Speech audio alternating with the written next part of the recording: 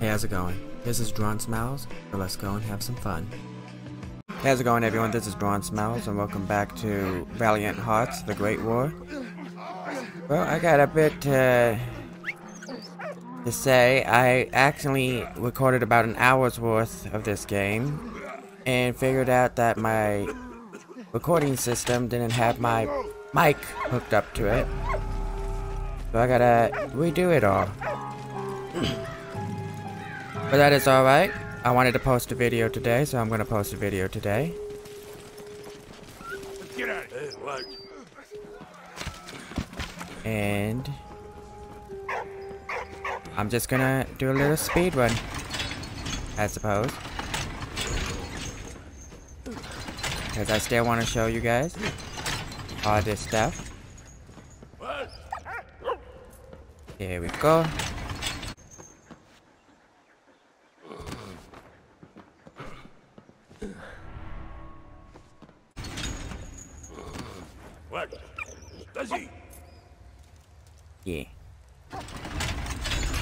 That's a good doggy. I believe that dog is a Doberman Pinscher. It is the gas. We're gonna blow it up, I tell you, we're gonna blow it up.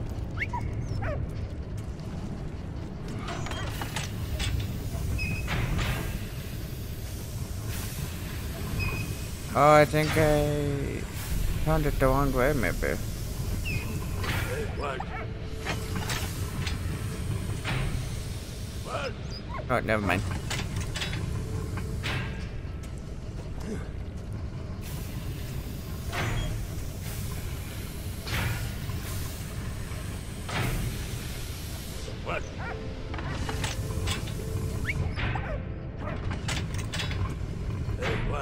Ta-da! We gotta self-destruct it. We gotta make all the gas not go outside. Gotta stay inside. Inside the system. But yeah, we're if we're in Germany, I believe our doggy, and the way he looks, I'm guessing it's a Doberman Pinscher. Yes, I understand, doggy. Pull it up. Isn't that cool? I will still be showing the where the collectibles is at, cause I still got the recordings. It's just it doesn't record my voice. So do not worry. You will see where the collectibles are at. You must know where to get the collectibles, and I will show you.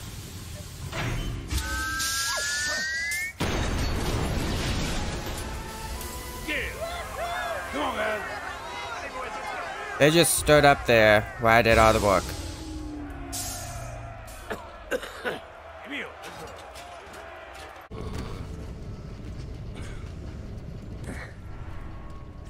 Yes, thank you.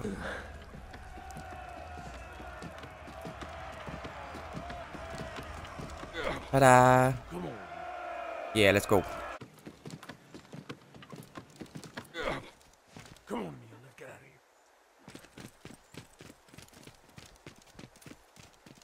of here. Allez, oui. What? Fuck.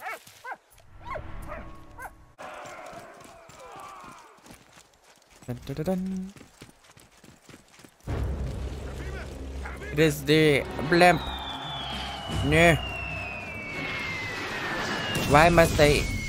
Oh, they're not even. Oh, they filled with gas. I'm about to say that. they didn't even. Oh. He climbed up while we went down.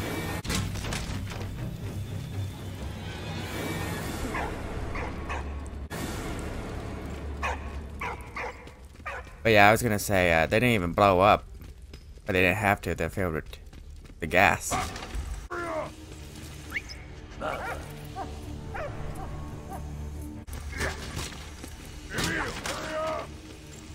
You hurry up. Why'd you go up there? Should have went down here with me. How dare he? Alright. Then he gets in there.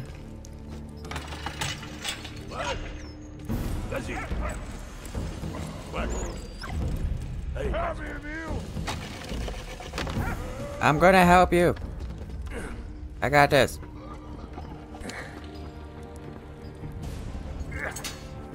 What are you doing in the basket?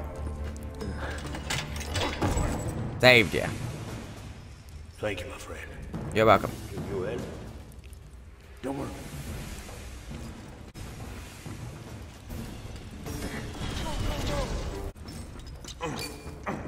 I somewhat enjoy their voice acting. The, the way you can actually understand them. They're not just speaking gibberish or anything. They're actually, you can actually understand them. Yeah, he's saying we gotta get out of here and stuff. And who is that?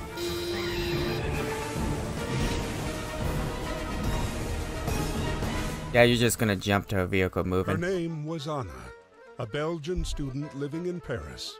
She was hard on the trail of her missing father. For once, fate smiled on them. They were all going in the same direction. But while approaching Vimy, a German squadron spotted them.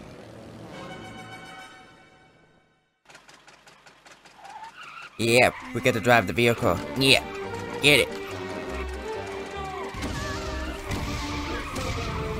Gotta make sure not to get hit by these bombs. Or shot at. Yeah. Drive it. Crazy driver. I am a professional driver. I may not have my license, but I am the best, thank you. No, I'm just kidding. Oh. They're gonna do that to me. Yeah. Yeah. Get it.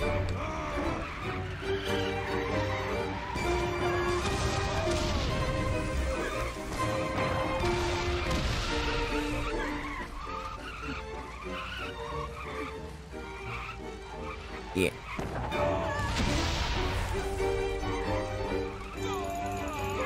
We got some mines up ahead. We can dodge them. Oh, right in between them.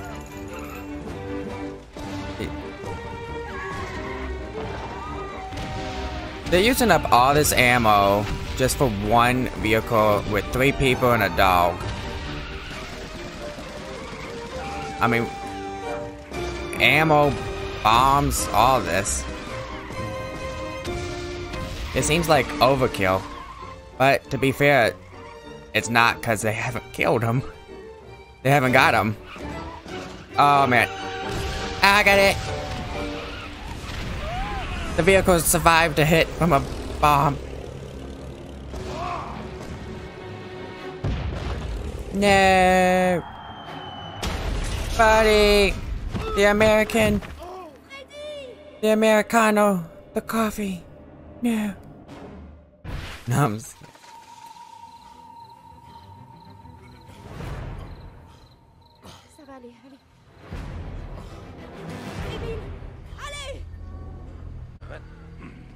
Alright. I did this part and I did the next part. So I finished Night of April 22nd, 1915. So I completely finished chapter 1. That's where I'm at at the moment.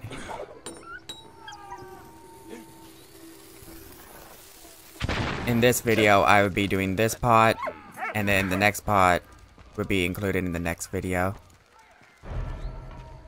And then, uh, we'll all be caught up.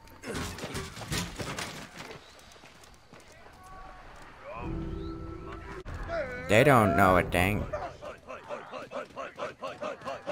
Yeah. We'll run with them. We'll run together.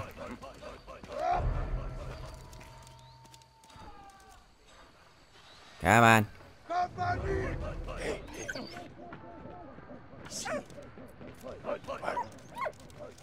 Yeah.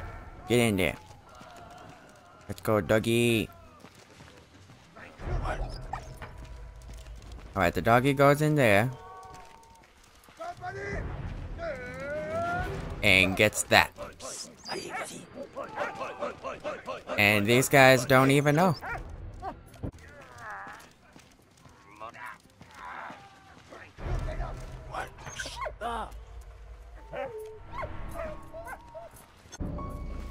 They don't know a thing. But to be fair, they probably think it's their dog, because it was their dog. They don't know that, you know, their dog is basically an undercover spy at this point.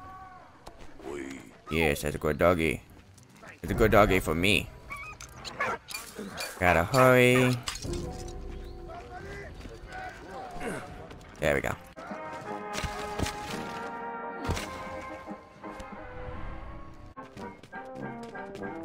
Oh yeah, play that music.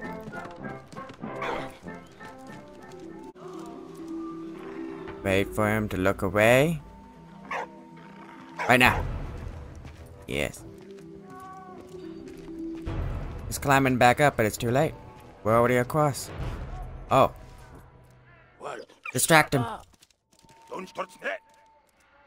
Yes, and I'll knock him out. Yes. There's... Even if I do this, he's still gonna die, isn't he? Maybe... Maybe he'll still die, but... He feels better now. Maybe. Possibility. Get in there, doggy. We got things to do.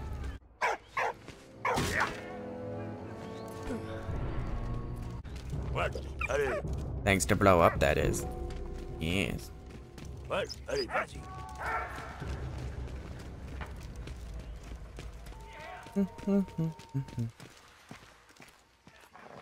Oh wow, he ran away just in time for me to come over here.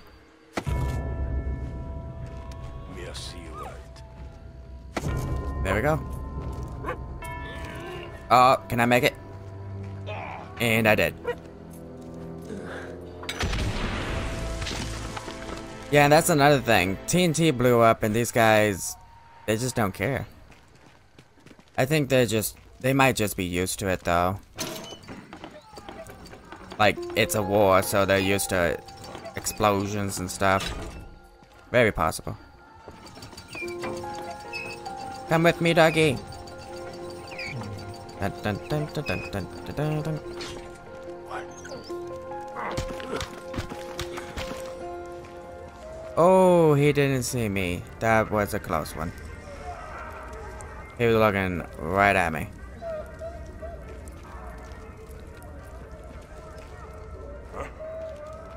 And then I go in here.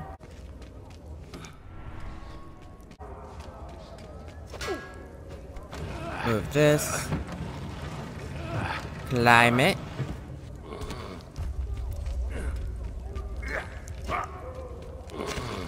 Yeah, I think what happened with my recording system is there was probably an update or something. And the system my editing system, or oh, not, not my editing, my recording system, I believe, might have kicked out my mic after the update.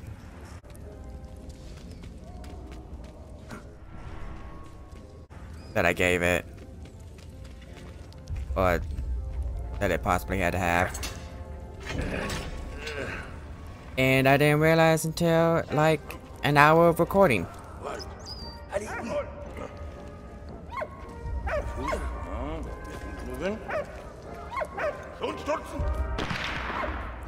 He missed. How you gonna miss like that? You get one chance to attack me, and you miss.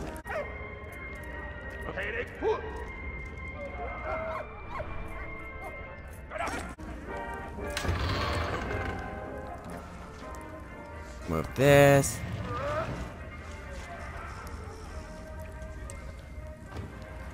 Yes.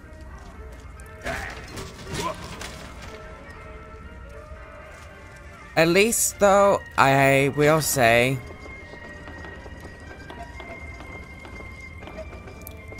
that. Oh, I gotta go over two more. One and two. But I was gonna say, at least it was only... I finished chapter 1.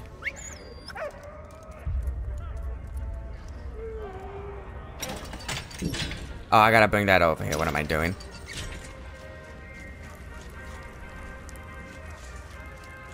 So, at least I didn't, like, continue playing for chapter 2 or something. Because that would have been something.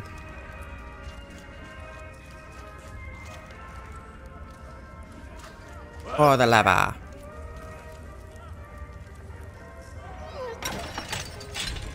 I mean, it was still like an hour of me playing. Well, it was still a bit of me playing. Might not have been exactly an hour, but it was still a bit of me playing. And reading the history facts and stuff. But that's alright. No big deal. Because it's a pretty decent game.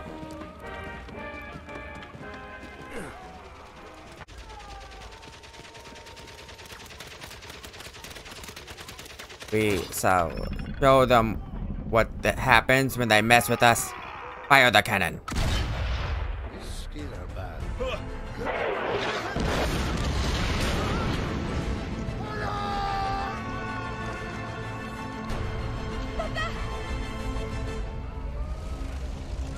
Baron von Dorf had escaped again. But Emil had still managed to find medicine for Freddie. Thank you, my friend. They were quickly back on the road again. Their journey would take them to Reims, where they would at last pick up the trail of the elusive Baron and his Zeppelin.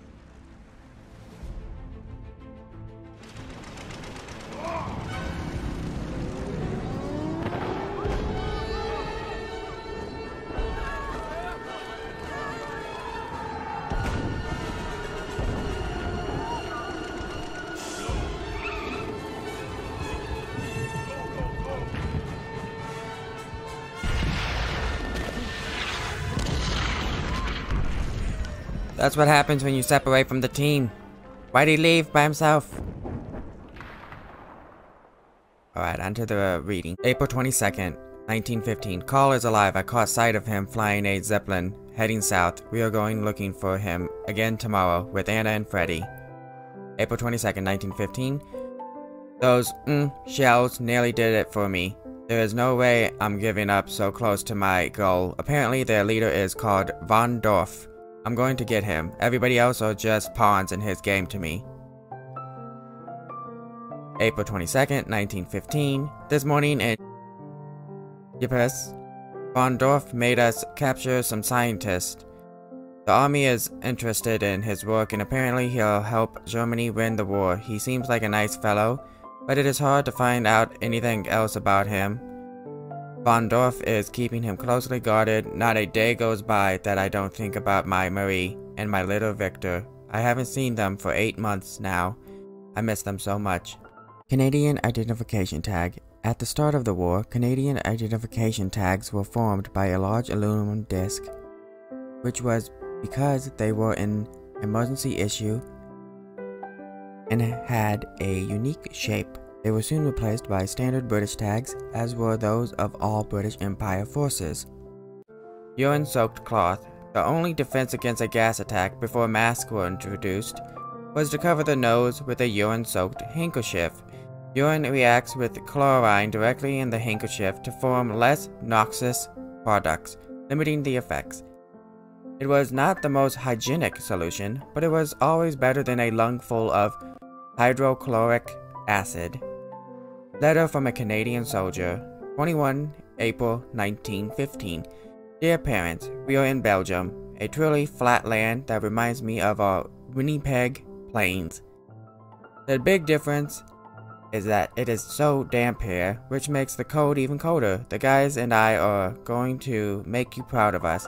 The Canadians will be the big heroes of this war. I will write again soon. Stephen. Gas canister deployment strategy. Gas canister deployment strategies were simple, but they did depend on the weather, especially on winds. Gas use required a constant downwind towards enemy lines to avoid the gas returning to its sender. Any battle plans were therefore dependent on the weather forecast. Belgian Shako The Belgian Army's distinctive shako resembled a top hat with a rim replaced by a visor. The shako was replaced by the Yser cap, a soft cap with flaps that could be pulled down over the ears. The cap was called the Yser because Belgian soldiers massed behind the river Yser to hold off the German advance. Pocket watch. Time was an important factor in soldiers' lives, and military strategies for attacks and rolling barrages were based on tight chronological synchronicity. Pocket watches were the only way to tell the time. The Battle of Ypres. Ypres was a key strategic town in Belgium, especially for the British. It was the gateway to the north, and thus to Britain. Canadian troops were deployed in the front line, and they proved their endurance. Periscope. To observe enemy trenches without drawing fire, officers and soldiers used periscopes, mirrors mounted in a tube that could be raised above the parapet with no risk to health. Infantryman is flask. Soldiers frequently suffered from thirst and water supplies were far from regular. All soldiers had canteens in which they transported water and also wine. Some also had flasks or goat skins which were less heavy to carry. Vial of Nevirothinine. To combat problems of morale and physical fitness, army doctors sometimes distributed Nevirothinine injections, composite of magnesium and potassium intended to give weary soldiers a hearty boost. Letter from a German soldier, 21 April 1915. Dear Andrea, we've been stuck down this hole since January and I can't stand it anymore. I'm sick to the back teeth with living like a rat. I really miss life as it was before, strolling beneath the linden trees with you. I even miss working in the factory. All my love, your Dieter tin of sardines. Soldiers were all fed by their respective armies, but they also received parcels from back home to improve their daily lot. Tins of fish or pate gave them a more copious nutritional meal than their daily army fare. British coins. While the war raged on, life continued and the economy too. The war economy was composed of both barter and currency systems. Soldiers purchased provisions in towns using their pay, in 1914, the pay of a British private in a line regiment was one shilling a day. The standard King's shilling obligatory deductions were made for a wife and children, sixpence for the wife and one pence a day for each child.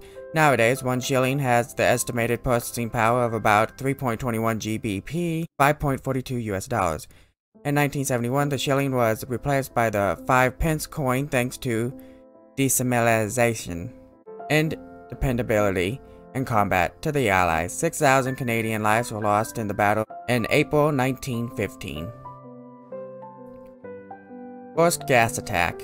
April 22, 1915, at Ypres came the first gas attack in history. 5,730 cylinders of chlorine were opened by the Germans in favorable winds. Chlorine gas caused burns to the eyes, skin, and lungs, even through clothes and rubber boots. The effects were devastating. The only defense found by the Canadians was to cover their noses with a urine soaked handkerchief. Zeppelin bombardment. Zeppelins were invented in 1900 by the German Count von Zeppelin, but the first long distance flight didn't take place until 1908. Zeppelins weren't much slower than the aircraft of the period and were first used in reconnaissance. They could also fly at higher altitudes, so from 1915 they were used to bomb civilians in London and Paris. The Dogs of War. It is estimated that by 1918 the Germans had employed 30,000 dogs, while the Allies employed 20,000. Dogs were recruited from dog pounds in the police force, while many families also enlisted their pets. Dogs had a number of roles as sentries and scouts, and postal liaison and equipment transport, and locating casualties and explosives, and as mascots. The main breeds deployed were German Shepherds, Doberman Pinschers, and Bouviers. The trenches. Between the sides, there was an imbalance in trench conditions. After securing a head start in trench construction, the Germans reinforced them with iron and concrete, while the Allies had to wallow in mud. The Allies' changeover policy maybe contributed to this. Allied soldiers had seven-day shifts on the front, whereas German soldiers were allocated a specific zone for an indeterminate period, giving them a chance to settle in. The Labyrinth. Vimy and Neuville Saint Vaast were two positions the Germans were quick to fortify. Here they built their labyrinth, a complex network of trenches and tunnels connected to underground sleeping quarters allied. Armies unsuccessfully attempted to seize this key position on numerous occasions due to the huge number of casualties. In late 1915, the position was declared impregnable. Memorial to the Moroccan Division. The Moroccan Division, whose motto was No Fear, No Mercy, combined soldiers from across French colonial Africa and the Foreign Legion. The division included Moroccan Zouaves and Tunisian and Algerian infantrymen. In 1915, the division seized Vimy Ridge, but in the absence of backup from Battalion HQ, they were forced to retreat after two days. The Moroccan Division is the only division whose flags were decorated with the Legion of Honor. Naval cannons. Naval cannons were capable of firing heavy-duty 800-pound shells. Due to their weight, they were mounted on special rails for transport to firing platforms. In the event of a retreat, artillerymen were instructed to destroy the cannons rather than let them fall into enemy hands. Alright, that's going to be the video for today. If you enjoyed the video, feel free to subscribe, like the video, and hit the notification button. Until next time, God bless.